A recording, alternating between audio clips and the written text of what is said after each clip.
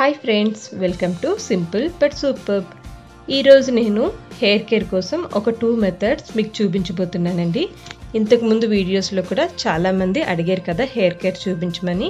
కాబట్టి నేను ఈరోజు ఒక హెయిర్ ప్యాక్ అలానే ఒక హెయిర్ సిరమ్ చూపించబోతున్నాను అనమాట ఈ హెయిర్ ప్యాక్ అన్నది మనం తీసుకోవడం వల్ల డాండ్రఫ్తో మనకి హెయిర్ లాస్ చాలా అవుతుంది కదండి.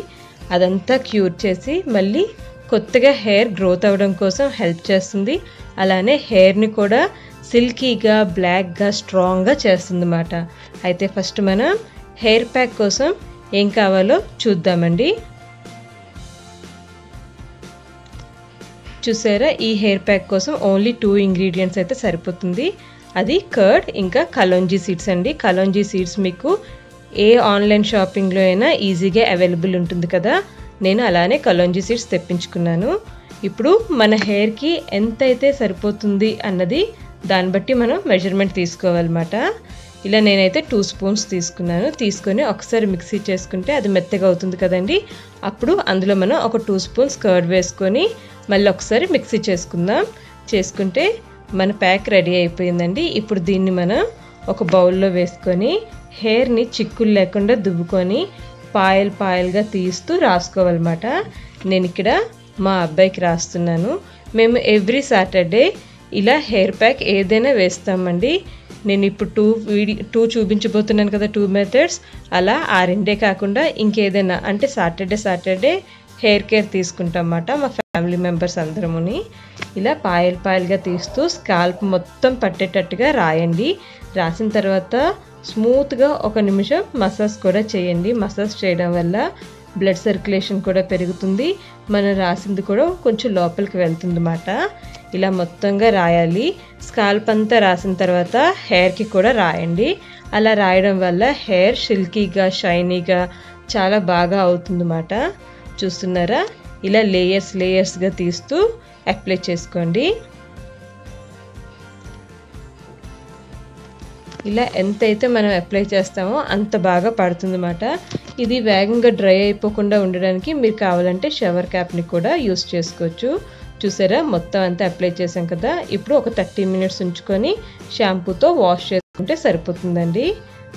ఇలా మొత్తం అంతా అప్లై చేసుకోండి. చూసారా? థర్టీ మినిట్స్ తర్వాత మా బాబుకి డాండ్రఫ్తో చాలా హెయిర్ లాస్ అయ్యిందన్నమాట.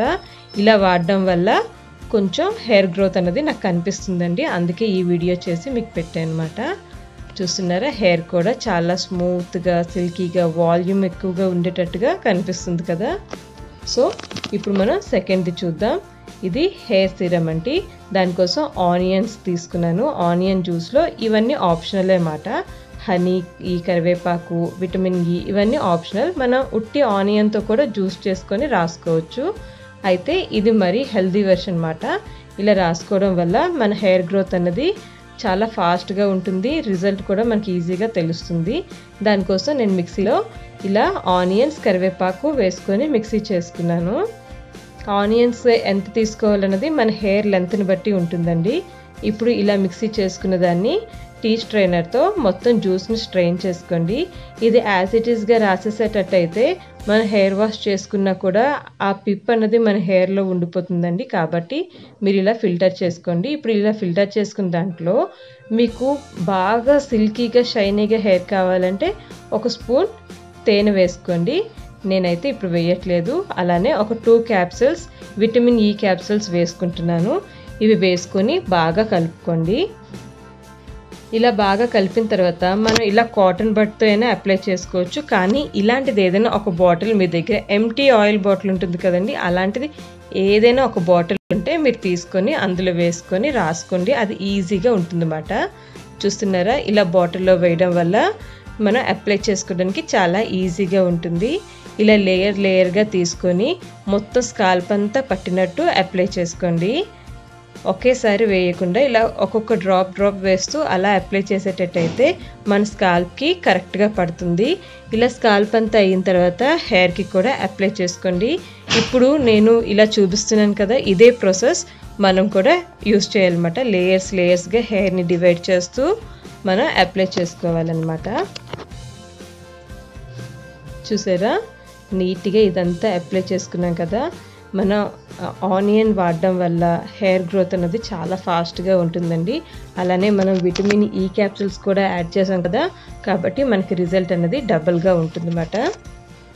ఇప్పుడు ఇలా రాసిన తర్వాత దీన్ని కూడా మనం మినిమం హాఫ్ అన్ అవర్ వరకు ఉంచుకోవాలండి. ఇది త్వరగా ఎండిపోకుండా ఉండడానికి మీరు షవర్ క్యాప్ని కూడా యూస్ చేసుకోవచ్చు. ఇది వన్ టు టూ అవర్స్ ఉంచుకున్నా కూడా పర్వాలేదండి. మినిమం అయితే థర్టీ మినిట్స్ ఉంచుకొని షాంపూతో హెయిర్ వాష్ చేసుకోండి.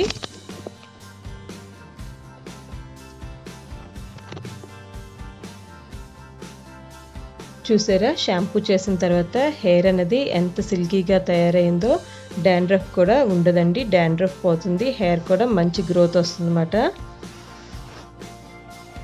మీ మరి మీకు ఇలాంటివి ఇంకేమైనా టిప్స్ కావాలంటే మీరు కామెంట్ చేసి నన్ను అడగండి.